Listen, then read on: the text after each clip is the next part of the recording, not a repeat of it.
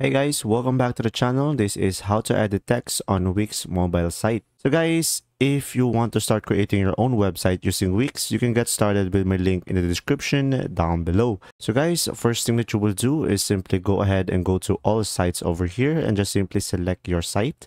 Now guys, from here, just simply click on edit site. And from there, it will redirect you to the Wix website editor tab.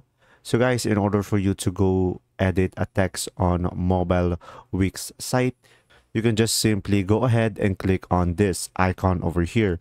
Switch to mobile, edit your site for mobile. So guys, having your site on the mobile phone and desktop will be completely different layout. So guys, from here, just simply select the text that you want to edit. And after that, you should be able to see here the settings icon. So just simply select this and from here you'll be able to change the font size. And if you want to change it manually you can just simply click on this one and minus on this one. And from here you should be able to change the color as well. So from here you will have various options that you can choose from that Wix has to offer. And from here you should be able to enable the vertical text if you prefer. And now you can change the alignment as well and now from here, you should be able to see the animation as well, as you can see over here. So you can have here multiple categories. You will have entrance, loop, or scroll. So it will be depending on you.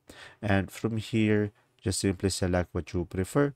And from there, if you want to change the text, you can just simply go ahead and switch to desktop. And from here, just simply go ahead and select it.